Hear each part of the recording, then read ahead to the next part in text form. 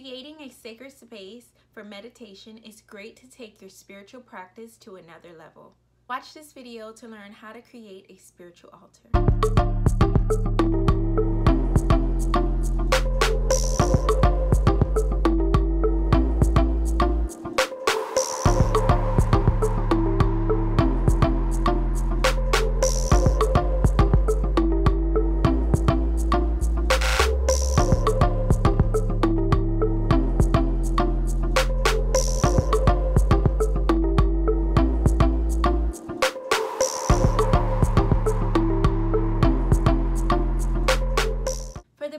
Techniques for total wellness, be sure to subscribe to my channel and hit the notification bell to be notified when I post a video every Sunday. Creating an altar can really intensify your ability to manifest. By the end of this video, you'll know exactly how to create a spiritual altar in your home or when traveling. My altars has allowed abundance to flow in my life easily and more quickly. If you'd like to learn my simple steps to creating a sacred space, keep watching. First thing you want to do is choose a place that is easily accessible and away from any distractions. The preferred place would be a private room.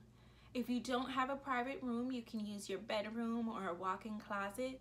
It's most important to keep it away from a place that people are going to easily see it and be around it. This is your sacred space and you want to keep it away from outside energies. The second tip is to have a place for you to set up your altar.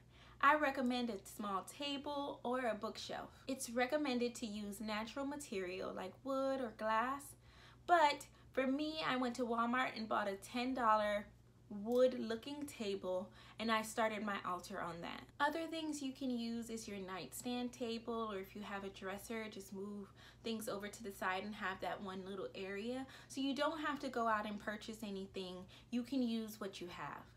Next, you want to make sure you have all the elements that you need for your altar. You want to make sure before placing anything on your altar, it is cleansed and cleared from any past energies. You want to have the five elements, water, air, fire, earth, and spirit.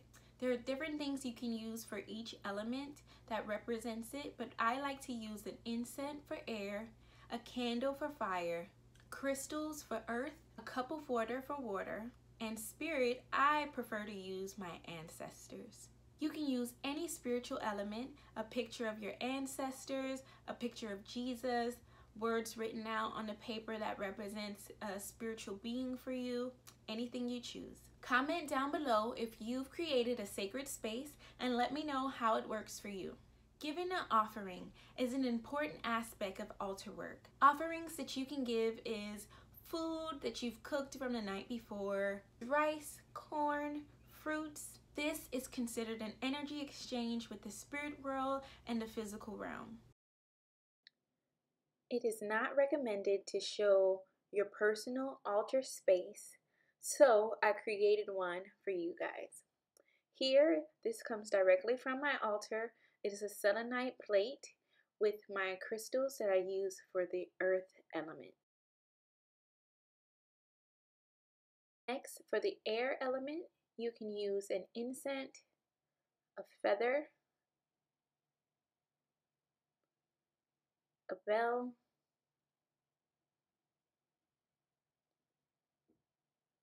sage, and sage your area and your space. And you can sage yourself Next, I have the water element, which I use in a copper cup, which is great for attracting. For the fire element, I have a candle. For the spirit element, I have a picture of myself as a child with a big smile on my face. And this always reminds me to work on that inner child and get back to that innocent place. I also have a list of my ancestors' surnames and my ancestors that I know name on it. I have a Ankh, which represents spirit, God.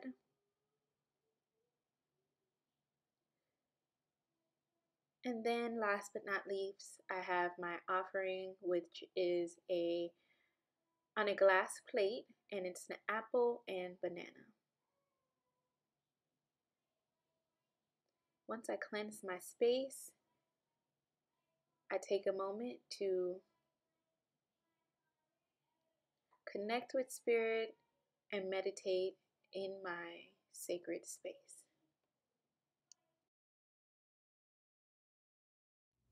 The next tip I have for you is to use your altar or sacred space daily. Using the space daily helps to build energy so it can really work in your favor. Consistency is key. Altar work is a great tool to use to manifest more quickly and to clear blockages. I had been interested in creating an altar for a while before I did it. And when I ordered the book, Sacred Woman by Queen Afua, first gateway was to create an altar. That's when I made the decision to create my altar space. This book contains so much good information. It is about women in their womb, but men can read this book as well. This is a great book. You can purchase it on Amazon or directly through her website, Queen Afua. Now that you know exactly how to create your sacred altar space, Stay tuned for my next video on a full moon ritual to get us in alignment with our new moon goals and intentions. If you like this video, don't forget to like, comment, subscribe, and share with a friend. I appreciate each and every one of you for watching. Until next time, remember, change starts in your mind. You change your mind and you change your whole life. Thank you so much.